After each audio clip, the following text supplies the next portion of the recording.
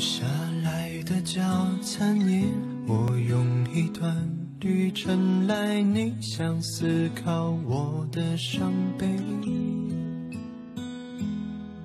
末班车要开往终点，想说的话太多，却只能说再见。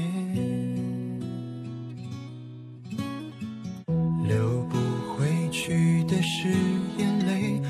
可惜了这个让人触景伤情又情的美。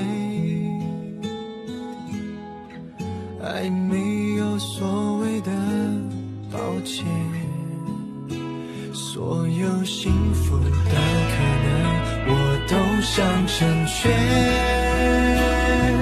记忆的窗景，时间停在哪